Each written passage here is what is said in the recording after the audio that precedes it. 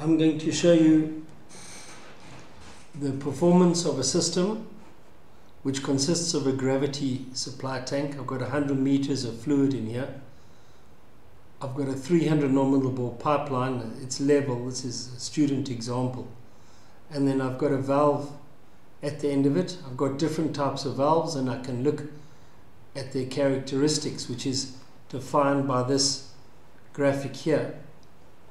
So if, if you have a look at uh, a different valve, let's say equal percentage, that's, or let's go quick opening rather. There you, can see the, the performance changes. So quick opening is, is one that you want to try avoid. You don't want to produce too many transients in your system.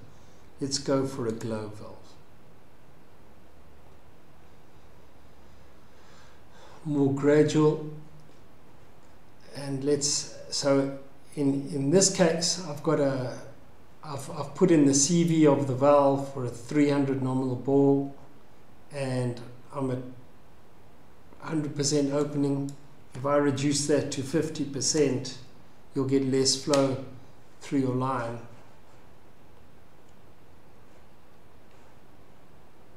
which sort of makes sense. I've got the hydraulic grade line here. Let's let's say I want to make this a smaller pipe. Let's make that uh, a bigger pipe. Beg your pardon. Let's make it 500. Let's make this 5,000. You should get less loss. There, you're getting less loss, less loss in the friction in the in the hydraulic grade line. Let's uh, go back to where we were.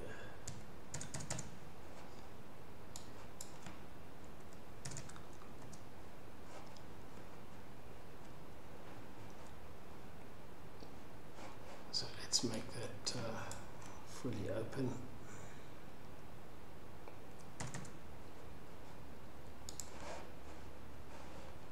Let's turn on the transient. So I'm, I'm going to shut this globe valve off in uh, 30 seconds.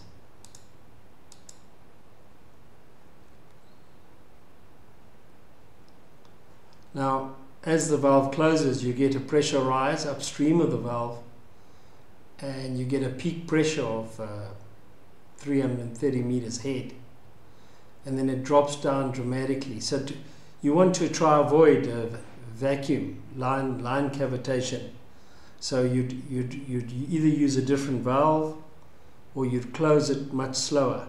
You, you want to avoid this, this uh, transient effect, severe transient effect. So let's, if I, if I change this to say a, a ball valve, hopefully I, I get a better response. Not, there we go. It, it is softer on the system. So uh, that's what I wanted to show you. The, uh, this, this, this application uses the, the method of uh, characteristics and I, I, have got a, I've got a link to the paper in the app and I've got a link to the app at the bottom of this video. Thanks for your attention.